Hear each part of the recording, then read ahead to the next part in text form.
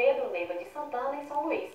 O repórter Julimar Silva está na capital, de onde traz mais informações. Olá, Julimar.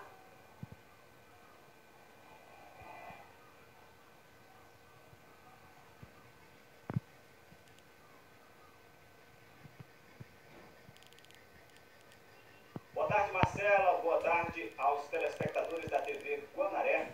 Nós estamos na capital São Luís, onde daqui a pouco, a partir das 16 horas, aqui no Centro de Convenções Pedro Neiva de Santana, acontece a diplomação dos eleitos das últimas eleições de 2018. Serão diplomadas 98 pessoas, entre elas o governador, vice-governador, dois senadores e seus respectivos suplentes, 18 deputados federais, 42 deputados estaduais, mais os primeiro e segundo suplentes de cada partido ou coligações. A solenidade de Convenções Pedro Neiva de Santana, que fica bem próximo à Assembleia Legislativa, onde os 42 deputados estaduais vão legislar em nome da população do estado do Maranhão pelos próximos quatro anos.